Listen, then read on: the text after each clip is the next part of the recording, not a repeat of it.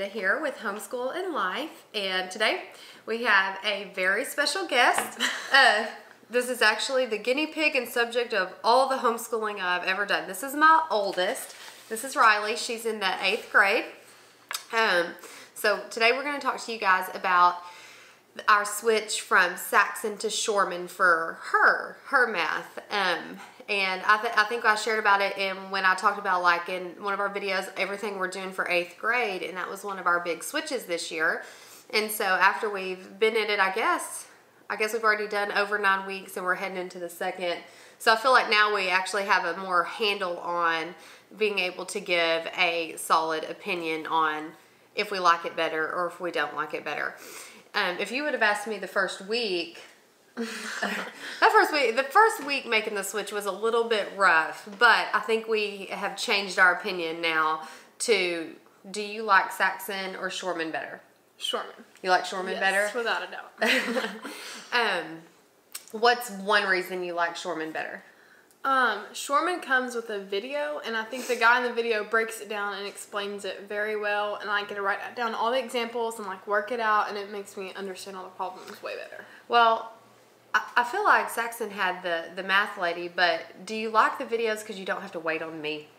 Yes. I, there, there are video access in Saxon, but with Shormann, like every day she has to watch the video to be able to do her stuff. And um, I'm kind of sad that I've kind of, I don't get to teach it as much, but I think for you, you like being able to be Like on I'm your own schedule better. just go and get it done when I want to. Yes. So, yeah. Um, because he does do a great job in the videos. So having the videos is really good. Um, and do, like, do you feel like they're straight to the point? Yes. One difference between Saxon and Shormann is that this is the pre-algebra book. Saxon has, uh, how many? Always 30 questions on top of what do you call a lesson practice, which is about 10 or 15, and then uh, usually a warm-up too. Yeah. Yeah, so, yeah, so there's a warm-up. So you end up doing probably, I don't know, over 40 to 50 questions a day plus Yeah. learning. So it's a little bit time consuming. But I honestly I like it. I like the Saxon. I like them having to do the writing and everything. But as their concepts get harder, you know, the questions get a lot longer. You know, one question could have, what would you say, six or seven math steps in it. Mm-hmm. So how many questions does Shormann have? Just 20. 20 a day. Is it mm-hmm. like bite size or are you thinking, I can do 20? Yes. Like, it's much better. Yes, which I know a lot of people with Saxon, they just have their kids do odd or evens. But we've got I've got a sixth grader and he's still doing Saxon, and I still make him do every single question. But that's just for some own personal reasons. But so you've got the videos. It's only twenty questions. Tell us about the exams. Um, the exams, they have four, and it's like they're quarterly, and they're all timed. And I think it gives you like an hour and 15 minutes, and it just makes me feel more prepared and like I'm getting ready for college, and just having it like timed, and I don't know, I like Yeah, that. so like, you know, when you're homeschooling, you work backwards from your kids' goals. Like if one wants to go to college or if one's wanting to own their own business, like you kind of teach to what they're wanting. And do you want to go to college? Yes. Yeah, so she needs to be able to take computerized timed tests. And that's one of Shormann's um, positive selling points is that they are they're taking ACT and SAT questions and they're putting those real questions in their stuff. And so Yeah, like if I have a um, test or lesson, whatever I'm doing that week, like if it'll be like an ACT question, like it'll tell me on that question, and so I'm like trying to make myself like see how fast I can get it done because I'm like I'll have these in college. So, Yes, or yeah. and you know for testing for scholarship Yeah. purposes, and like you know reading them slower. So I think it's good um, preparation for end time goals. And another thing they have on the exam, like um, Shormann, like you can make your flashcards for everything you're having to learn. And I think that's great prep for like a college semester test or you know just a compilation of everything you've you've learned yeah. when you say. So um, on the Shormann website, I'll, I'll put the link to it. It has like it goes through and answers a lot of questions between Saxon and Shormann, and it's pretty accurate.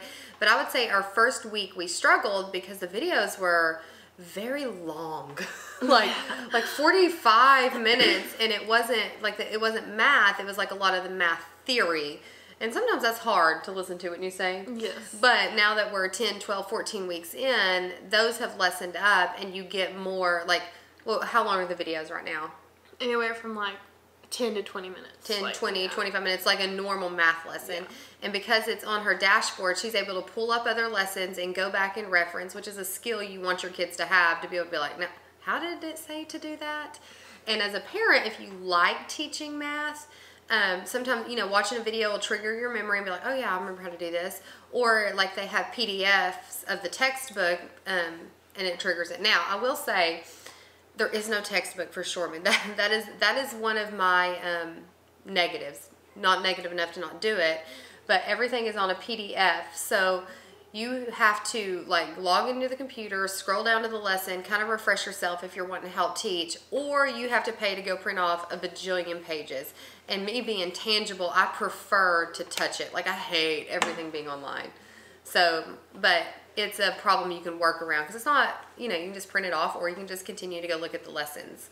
So, what's something else? You made a list. You can get your paper. It's okay because I was like asking her from her perspective, besides just a parent's I don't know. exams. What else? It's a little. It just has like a good Christian base in it, and like one week it'll tell me, you know, have a good attitude, give God glory, like through your work, and just like all these encouraging little reminders, and I like that.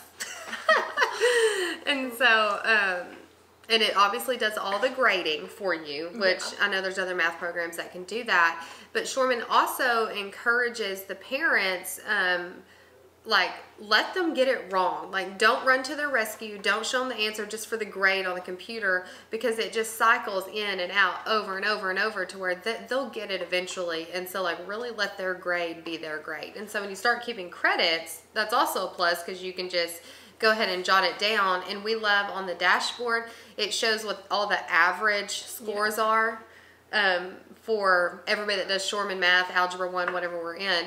So does your competitive nature kick in a little bit? Someone Tell was us like, about oh, did. I beat it this week? Yeah, like so- comparing myself to like the average. Yeah. So, So if your kid has a, would you say he had a competitive spirit? Yeah. A little bit. Um, so like that's just really fun to know. Like, well, how am I measuring up to like everybody doing Shormann? So uh, let's see. Is there anything else that we would like to say about it?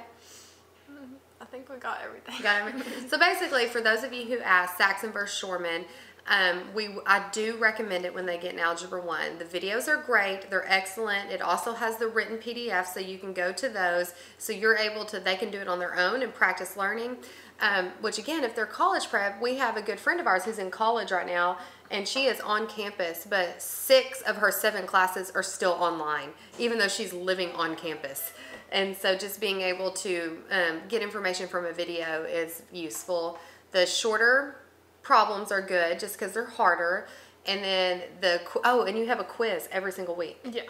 And is it always over what you've learned that week? Yeah, yeah. and so like we, I never help her on the quiz, even if she's like, "Hey, what was this?" I'm like, "Well, you got to remember, but it's only four questions, right?" And you can take. Can you take the quiz more than once?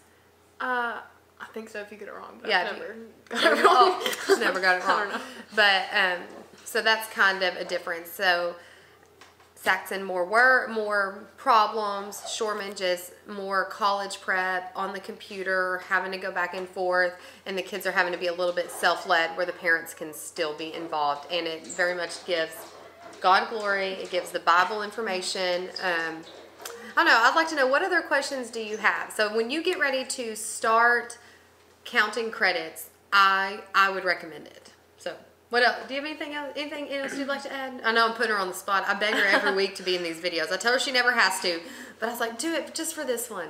Um, I don't know. I just like it better. What's in it because you can do it on your own. yes. Yeah.